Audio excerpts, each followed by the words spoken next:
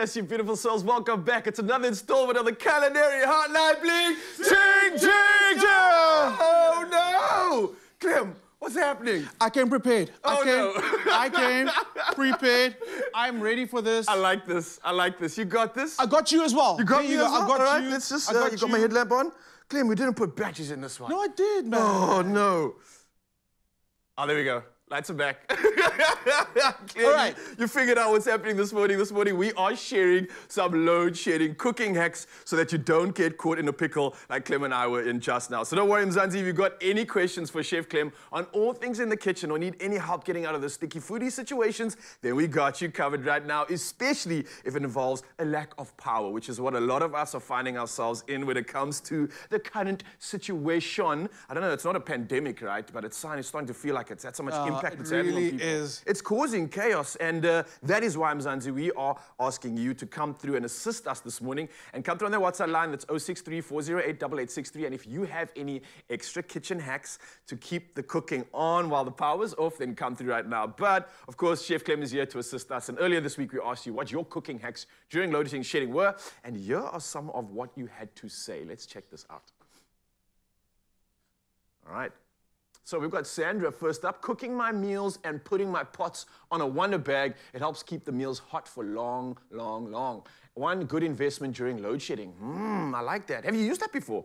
Absolutely. And I think they're amazing. Yeah? And it's kind of like making me realize how long we've been doing this load shedding thing. Because about almost 10 years ago, Wonder Bags became so popular. yes. yes. Because of the, the fact that you could start cooking something, pop it in the Wonder Bag, it'll Yeah. continue cooking for hours. I would see it on like camps and stuff because I mean, a lot of the time you don't have power in a camp situation and you can seek inspiration from that. I would see guys just cook the pot up for like a couple minutes and then they just leave it for the rest of the day. By the evening, it's ready to go. I was like blown away by this, but it's so efficient. Really, really I love and it. I love this tip. So, Geraldine Leslie, thank you so much for that. We absolutely love that. Uh, we've got another one here. Sorry, it says I have a complete meal using a gas stove. Crazy cooking experience with load shedding. I've been trying this. I think gas hobs are taking over right now. Taking over. It's really a great hack for anybody that's caught in a situation, but it doesn't help you when it comes to the oven situation, Uh-huh. which is quite a tricky one. But I mean, you can still make a plan, right, with the gas. Look, if you want to be baking a cake in the middle of load shedding, good for you. But I mean, like, if you've got other priorities, we can do it. We can, we can definitely try. You know, how some of us forget that we have those last minute instances, so we might have to. Look, we got another one here. I see everybody's coming through some good ideas. Albo- Albany Dyer says, before the power goes off, I cook everything as early as possible and then transfer the boiling pot to the wonder bag. Close it tightly Wonder and then bag. stand for hours in the recipe book. I like this. Very smart. So the wonder bag is definitely It is. a kitchen hack Absolutely. when it comes to load shedding, right? Also, good morning, Albany. Albany is one of our biggest, biggest fans. So good morning, Albany. Thank you for that. the Wonder Bag is coming through for the win, and I Yeah. absolutely love it. And I, if I'm not mistaken, I think it is a South African invention. I hope so, because it has that ingenuity of our people, yeah. Yes, I love it. I've got a few more tips as well. Uh, yeah, because man, like uh, this is becoming a legit problem, and I think we are realizing that we need a proper solution and It maybe a holistic solution to not just a quick fix, but what else can we still do in this time of reflection? Let's call it that. Exactly. So the thing about cooking on gas, it's Yeah. great for searing and quick cooking things. But when it comes to boiling, boiling things takes a little longer, and you, you don't want to be standing in the kitchen doing all of that. Yes. Here's a great hack. Okay. Rice and pasta are things you don't normally have to boil. Yes. But you can cook them and freeze them as is, even pasta. So you can buy frozen rice, which I okay. love from Yeah. Woolies, but we've got a little supply of frozen rice. And it's actually quite nice when you do pop them into little individual bags, so you don't have to then try and like divide things when the power's out. And this will reheat literally, you could actually cook your sauce, just add this to it, or pop it in the microwave for 30 seconds before the lights go out. 30 seconds, and That you're it? done. And that saves a lot of time. 30 seconds versus boiling rice for about 20 minutes Yeah. to get it cooked. And also, I like the fact that you efficiently are saving electricity at the same time and saving money essentially because you're cooking everything at once. You've got batches that helps with meal prep, which is always important for anybody like looking after their diet, counting calories. So at the same time, I like this because you kind of like portioned it off. So Exactly. here's Monday's rice. I got Tuesdays. I got th- Thursdays. It's kind of like a cool little. That's a very baby portion size. Yeah, Let's be honest. like a- but I mean, it's you'll not a- portion it at home you as get what I'm going you with. need. The other one, and we mentioned this before, but I think it's worth mentioning again, is get yourself a vacuum flask. Mm. So when you put hot water or cold water in a vacuum flask, it'll essentially keep it warm or cold for hours. yeah. So Nicole, I'm actually going to pour straight into because I don't have another glass. Nicole boiled this about four o'clock this morning. And really can you see the steam? Can you see the steam? okay. It's still hot, and it is such, such a lifesaver. If you need a cup of coffee or a cup of tea and the power's out, you sit there. Droog. but now we've got a solution. Just get get yourself a flask, and it honestly keeps water hot for about three hours. Yes. Good enough for tea or coffee. I've got another one. This is just essential. I'm just thinking because there's certain people that need a coffee, or Yeah. need a tea in the Yeah. morning before they start the day. So this is probably This something is that's going to be one. essential for you, right? So get Before a into flask. that, I just got uh, obviously everybody's coming through with some great ideas. please. Ubaida's just sent a, a WhatsApp. I want to listen to this one first, just before we crack into the rest of your tips. So let's hear what he has to say. Hopefully he's got some tips for us, or she actually. Let's find out. Hi guys, yes. If it's during the day, I just get in my car and I go to Kenilworth Centre. They always have electricity there. So I can have a, a cuppa or I can have a meal depending the time of day. Um, at night, yeah, it's a different scenario. I hate the 8 o'clock stretch from 8 till 10 because there's no way I can go to bed. We normally get in our car and we either go to the garage and go and sit, have a cup of coffee there or just chill and listen to the music. All right, Ubaida, I love that. How Thank you so a much. date out of it. I like that. Yo, causing like, hey, load shedding. That what does that mean? Adventure time. I love that. Yes. that. That is such a cool association with load shedding. It's like, okay, cool. Where are we going to next? We got another one coming through. I don't know who this one is from exactly. Let's find out who it is and what they have to share with us right now. We just lay in bed and watch on our phones when it's load shedding. Okay, it seems like I think I think she said uh, we on our phone maybe load shedding. I think hopefully not just playing games Yeah. but using it constructively. So- checking out some uh, recipes and hacks from us as well online. Let me let me take that one and like just shoot forward to another tip. Yeah. So the most important thing is actually being ahead of the load shedding, so Yes. knowing know when the power is going to go out. Especially to then, avoid that graveyard shift. That 8 to 10, like uh, Absolutely. that's what she was speaking about now, yeah. And then charge your phone, Oh, charge your power bank, charge your laptop, whatever device you know you could be potentially be using, charge it. Charge your rechargeable torches because I mean you often do forget that these things need to be recharged. I literally did this last night. Did know you? What? You know what came through crazy enough? Uh, not necessarily a kitchen hack, but I found a ring light Uh-huh. and a power bank. And you just shot some selfies there and video Shots in of the dark, selfies. But it gave you light. But literally, the ring light gives you a lot of light. That you does. can change the color on some of them as well. So like, oh, The mood lighting. cool. Yeah. Why are people mood- getting romantic during load shedding? I love that. It's I love it. Look, in never mind. Oh, I was, I was also gonna say we were talking about like uh, no, no, let's- no, no, no, let's family not. show. Okay, so back to another one. Okay, I like doing these little baggies, and I keep them in a specific place in the kitchen. It's got a, it's got a lighter, it's got little candles, and it's got a, pl- it's got some plasters in there. pack. And I, I'm talking about the plasters from experience. Ah, exactly. Or putting your hand in the drawer and nick, yourself. Keep you. that in one place so when the lights go out, if you're not prepared, you know exactly where to find it. Obviously, we spoke about gas. Get the gas. Start cooking on gas.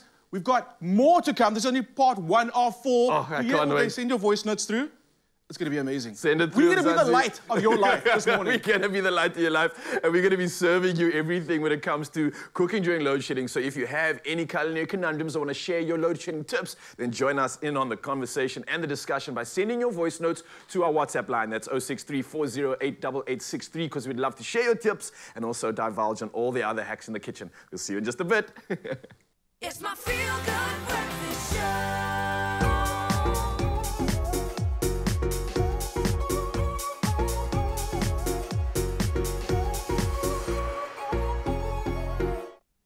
Yes, Mzansi, welcome back. Your Feel Good Breakfast Show. And of course, this morning on a culinary hotline bling, we are also tackling your conundrums and sharing the best tips and tricks for preparing food during load shedding. So officially, let's do it. Let's do a proper one. Because now the lights are back on. The lights are back it's on. The culinary hotline bling! Ching, ching, ching!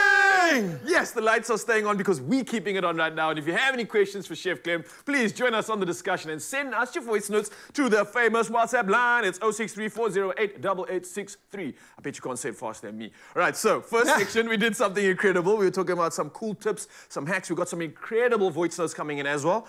But what on earth is this? I don't want to tell you too much about this right now. It is our charcoal tabletop braai. I'll be telling you more about that in a little bit. Okay. But we spoke earlier about Such the a fact that... tease, eh? Hey, Oh, okay, I want to keep people hooked. Okay. So we spoke about cooking on gas, Yes. cooking on charcoal. Yes. This is amazing because it's, you don't have to light a whole fire to braai, but I'll tell you more about this in a little bit. It- I'm, I'm so impressed with this. So here's the thing. When the lights are out, you know, just make the most out of the situation. Yes. We're gonna do some spicy chicken burgers because it's so Without quick power? Without power, we're gonna do it on a charcoal grill. It's gonna be so delicious. You're gonna be in charge of the slaw. It's All gonna be amazing one. So actually, the recipe. It, it it doesn't say recipe by Clement Pedro. It says recipe by Megan Pedro because this is what we did in load shedding. Oh, And I write, writing recipes. Big. I see you. And I wrote the recipe, and she's like, "Oh, add a little bit of that to it. Add a little bit of that to it." And the one thing she said, "Add to it," was pineapple. And I was like, "Peri peri chicken, pineapple, and slaw." Yeah. You know what doing it it. reminds you of? Because like I remember Sunrise Beach as a kid. There was a market on a Sunday, Uh-huh. and they would serve pineapple on a stick, just with a little bit of like uh, spice over it, and they would like serve that as like a meal, literally. And you walk around in the market. Sunrise? Sunrise Circle at the market on a Sunday morning. You go there, there'd little be like a coil of a pineapple on a stick. They'd hoist some spice on that, and you just walk around chowing that thing. That It sounds was- like a yeah, that was like the vibe. If anybody's been down there, you should try it out. It's still going down. But this is something All else. right. This took that This is- concept and like this yo, is went to private so, school. I love so this. delicious. Okay, so I got my chicken breast. What it is, I actually have two chicken breasts, and I put it between two sheets of plastic paper. Uh, um, cling wrap. Cling wrap, go. What's okay, the I word? got you. We forget word, and then just pounded it out. So actually, two chicken breasts actually gave me four fillets that I can cook. And I did it for a reason because when you flatten chicken breast, it cooks in a fraction of the time. Yes. And obviously, in load shedding, you don't want to be spending forever in the kitchen. You want to get in, get out. That's what you want to do. Efficiency so is key. you're in charge of the slaw. I've got some cabbage for you. I've got some pickles. I've got some mayonnaise and jalapeno What is achar. this? Okay, a slaw basically. You can put anything together to make it a slaw, and this is one insanely good slaw because of the pickles in there and because of the jalapeno achar. I've got my chicken breast. All right, what are you doing on your side? I've got my Willie's Peri Peri Bri Prego marinade. no salt because all the seasonings in there. It's all about hacks. Get in, get out. Time is of the essence as well, especially when I capitalize on the little bit of power that you maybe have, or whether you've got gas or coal. You don't want to waste time. You don't want to waste time.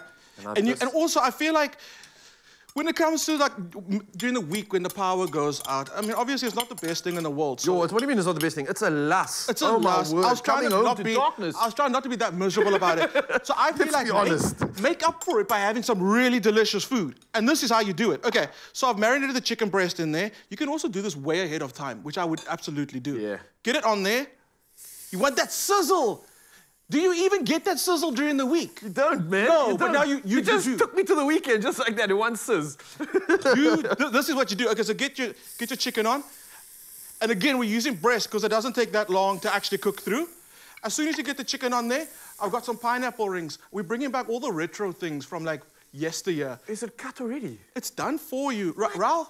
Put a ring on it. Oh, put no, a ring on it. Oh, put a no, ring on oh, you it. didn't. It would be an absolute honor. It's- Look how cool that is. It is. Straight, just like that. Get it on your grill. Get it nice, and hot. What happens is those sugars in the pineapples are caramelizing, get so much flavor. People say pineapple and pizza is not a thing. People be hating on pineapple, but I mean, like, nah, I'm, I'm gonna defend the pineapple. Yeah. The pineapple makes this burger. So I'm gonna jump on that bandwagon as well and say, especially when you put some good spices together with it. So oh, it's gonna come together. Before we finish this though, we've got so many voice notes that have come through. Send I really it, send it, send it. Mzansi's coming through with all the tips. We were asking you, what do you do to keep the power on? And that means you're cooking and anything else when the power's actually off. So how do you keep going during that time? And we've got so many coming through right now. Let's hear this first one on the line. Who is it? Let's hear what this voice note is about. It looks like I think it's Nosetu. Let's send hear. it. Send it. Good morning, everyone. Good morning. Um, what I do, I light up my phone and I look for my lentil. It's a paraffin one, and my lights goes on, and the life goes on too. This is Unosintu Mcimeli from Engamakwi. Nice, I like that. Okay, so kind of like creating an ambiance, getting the lantern out. It's almost like a camping vibe. I like bit that. of Marvin Gaye. Yeah, you know what I mean? are we going that direction? Why not? Why We got another one coming through now. I think this one is from Mark. Let's hear what Mark has to say. I, I always charge my phone before the lights went out, and then I listen to music and chat with family and friends for two hours. I like that. What did using Mark the say? time wisely and constructively. Mark with his somber and soulful voice that's so elegantly soft at the same time. But Mark is just basically saying he's making sure that he's preparing beforehand. So he's got his devices charged, just like you said in the kitchen as well. It helps to prepare things like we did with the rice. And he's obviously using that time to just listen to some music, catch up with the family, do all the good things. I like that very much. Another one coming through. There's so many, Mzansi. Thank you, thank you, thank you. This one from Bronwyn. Let's see if it's a tip or if she's asking for help. Let's find out. Good morning, my name is Bronwyn. When the lights go off, I usually make my food on the gas stove. And for light, I, I use a candle.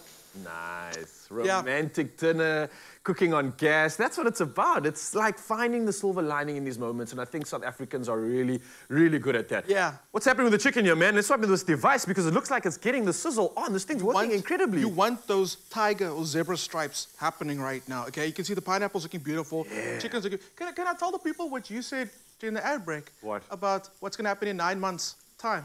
Ra- Raul's predicting a lot of load shedding babies. And I'm like, why not? Just yeah, like- but if you think about it, I mean, obviously, it's the silver lining of lockdown for many relationships. What has I'm a bit I'm a bit scared about where he's gonna go. It Wait, people closer okay. together. So I'm saying the same thing with load shedding. We're hearing all these incredibly romantic ideas. Yes. Grace to like spice things up in the kitchen and beyond the, that space. I mean, obviously, how can you deny the essence and the ambiance when you're creating a good meal like this? That's what I love about South Africans. Yeah, man. We just, we just take a situation that we're not really happy with and we're gonna just make it a We vibe. multiply the situation.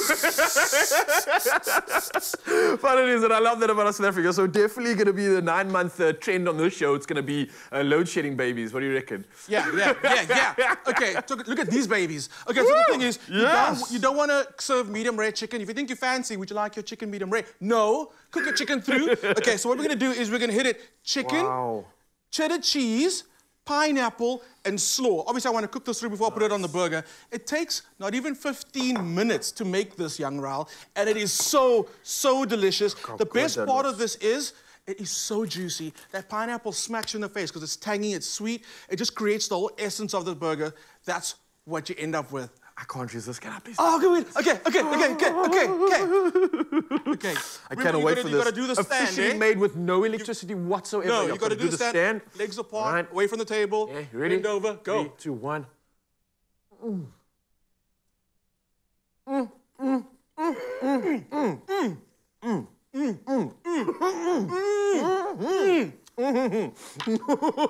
now, my mouth is full, and I'm sorry for this, but man, you got to get to expresso.com right now. Oh, the flavors are just bursting everywhere, Clem. The pineapple, the spice, the chicken. It's done so right. No electricity whatsoever. Expresso.com for this culinary conundrum hack. And again, sorry for my mouth being full, but I couldn't resist. It's so, so, so, so good. Zanzi, go check it out. Expresso.com. We've got more conundrum hacks coming at you in just a bit. Mm, this is so good. Nice, man.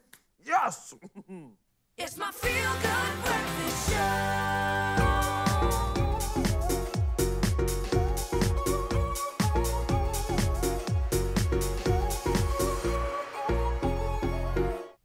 Oh, yes. You can see the smile on our face because you know what time it is. This morning we are tackling some load shedding cooking hacks with you and, of course, Chef Clem. And this is our final edition of the Culinary Hotline Bling. Ding, ding, ding! Yes, so the lights didn't go out this time, but we are going to make sure that no matter what is happening with your light situation, we've got you covered. So, you got any questions for Chef Clem or anything culinary conundrum related, then join us on the discussion and send us your voice notes. And we've got the WhatsApp line. It's 063 408 8863. That's 8863. And with all the voice notes and everything coming through right now, I thought, let us find one of our special people right now. We've got a call on the line, and I want to say good morning to the beautiful Ketami in the building. Yes, Ketami! Hello guys, hi. How are you? I'm good, and yourself? Oh, we are so good, but we feel left out because you just slayed it away when it comes to the wardrobe this morning. How did you find a jacket to match your personality? Well done, well played. Oh, thank you. My mom made this for me. Mom made it. What? She's a, Whoa. She's a fashion designer. Yeah. Oh wow, mom's got some skills. Um, ask mom if she wants to do a collab, maybe. I'm, I'm here for that jacket. but look, we're talking about another type of collab. We're talking about collaborating with you, obviously, and obviously solving some questions, conundrums, and anything that you have for us. What's happening? What's on your mind this morning when it comes to the kitchen? We've got Chef Clem on standby as well. What can we do for you? Um, now, as I'm speaking, there's no electricity. Everywhere and vendor. So my question is, how do I make load shedding food since, well, you see blackout? Since this is the new norm. All right. Well, we got you, Kay. We got you. Chef Clem's got all the answers. So, how do we answer this question, brother? So say you haven't prepped. Yeah. You don't have a Yeah. gas braai. You don't have a charcoal braai, but you're hungry. Yes. What you gonna do? Yes. I got you. Akitami uh, is right now. She's in Right load shedding now. Let's feed the Okay. people. What are we going to so, do? You gotta get your protein in there somewhere, but Yes. proteins you mostly have to cook, right? Yeah. Except smoked chicken breasts. They've already been cooked. You smart man. You. cooked. I see what you did there. So- okay, I got you. I got you. I've created like again, it's all about the here. So that's the Yeah. thing about load shedding, make the most out of it. So we got the smoked chicken that's done. Okay. Okay. Got me some taco shells. All You right. don't have to cook them. It's They're already done. hot. Nice. Lime, coriander. Sorry, sorry, G. You know, G and his coriander. Got some jalapenos, got some chives, got some dip, got some feta, got some lettuce. All fresh. We're making tacos. You don't have to cook. You don't have to taco, cook. Tacos. Taco taco. we don't have to cook anything. Anything. but I is pretty think cool. It is a vibe because you get everybody around the table and you get to talk about your day with a few candles lit up there. Everybody builds their own. So you're I gonna build this. one for yourself. I'm gonna build one for you. Okay, Tommy, this is actually a great idea for you to. I mean, you're in load shedding now, so why don't you bring your friends down into the kitchen and you can recreate this experience? Because now everyone has something to do during load shedding. Everyone Right. Can grab ingredients, everyone can get involved, and uh, I'm gonna do just that. So, what am I busy with right now? I mean, I've got you. I've got some chicken for you as well. Oh, so, nice. I mean, Oh, nice. We did- I mean, I don't mind slicing. No, Oh, okay. So we can do our own vibe. I like that. These are so dope. Also, also, I've got, I have some friends from back in the day that used to just like have these whole things in their lunchboxes. Just ready to go. Just chowing chicken. Yeah, man. When the varsity days came through and I Yes. had protein, I was that guy. I had this on a bed of rice, ready to go. And a can of two in your back pocket. just for emergency. just for emergencies. okay, so the trick for this one is get it nice and thin. That way you make one chicken breast go the distance, Ah, and you end up feeding a lot of people with just one So, okay, chicken Tommy breast. can invite more of her friends. over More, for this one as more. Okay, Okay, got go you. for it. Nice, and thin. On So like I said, you don't have to cook the tacos. You don't have to do anything. It's just a little bit of chopping, and you're good to go. I also like the fact that you don't make everybody's taco. Let them make it themselves. Yes. That's that's part of the experience. When it comes to tacos, I feel like putting it together is half of the fun. I got you. How you doing uh, there? Kitami, are you still on the line, by the way? Ah, I wanted to ask you, what have you been doing before you obviously found this beautiful conundrum hack? What have you been doing during the load shedding when you get hungry? Have you had any solutions? It's just like peanut butter and bread. Okay, I got you. we buy quarters. Okay, I got you. And then I would imagine with this being an option now, is it something you can see yourself getting into? Can you see yourself maybe inviting some friends or family around? Yeah, it's definitely something that I'm looking forward to do. It's easy and just straightforward. Like you bring people over, you make tacos. Just come, make your own if you want. But if you can, then Chef Clem told me how to make one. Yeah, I like that. I love that. Oh. so I was gonna make G a taco, but he said I'm no longer his favorite. Huh? So now I'm like, I'm not sure. Does that mean I can make the taco for him? Like he's, he's, he's kind of like sussing out what's happening in the background. he doesn't know what's happening. But yes, okay, I, I, I- G can come in just on make his own taco. I know that G doesn't like coriander, but I'm sure he'll make it his own. Yeah, that's true. So And here's that's a- the here's beauty of this, right? Because Uh, you can add your own favorites to this as well. You can Absolutely. get creative if you're not a fan of a chili, you're not a fan of lime or anything else. Then You- I no hear problem. footsteps. I hear footsteps. I hear footsteps. Could that be Could that young be G the G? himself? okay. He's got. He's got. G actually has very tiny feet, people. And when he comes, just joking. I am. I'm no, just that's joking. so small. I'm struggling Come, get in, get in my here, feet. get in here, get in here, get in here. Can make a taco. Gee, first you say good morning to Katami as well because she's on the line joining us. Oh, she's Hello, over there on the, on the board. I know it's difficult to tell us apart when we dress the same like this, but I'm I'm on the right. This is Graham over here.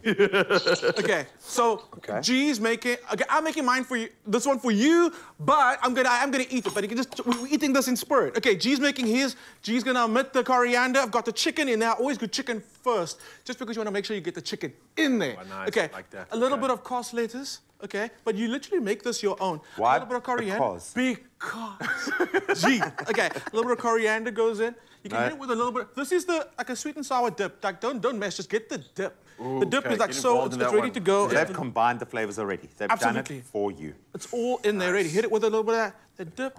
If you like it spicy, I've got some chipotle sauce. And the thing is, this is not a it's not a hot dish, but you bring the heat with the spice. That's how it works. So Well, here then with, I've don't got some. talk about it. Do, do it, man. Do it, do it. I've I, got some- want to find out, because Chef Clem, I know we, there's this divide between how hot we like our foods. I know certain people love it extra spicy, Uh-huh. especially those dwelling in the KZN region, as far as I'm aware.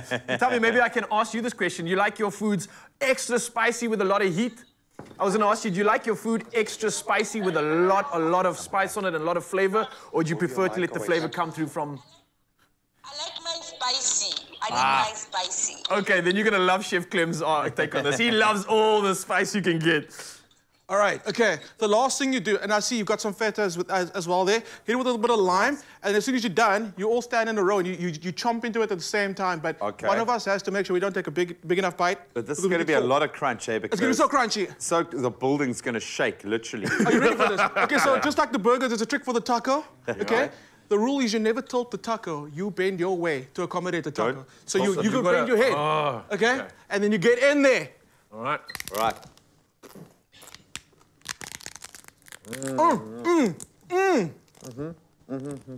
This is how you do a meal. No electricity, no heat, all the gears. Now, none of them can speak. But this was Culinary Hotline. Absolutely amazing. If you've had any questions, any conundrums, let us know on Facebook or let us know on our WhatsApp number. We're back next week answering all your questions. They can't talk, they can't say anything, but we're not done. We'll be back. Katami as well, thank you so much for joining love us you, this girl. morning. Love you, Jacob. We love you, and go entertain the world.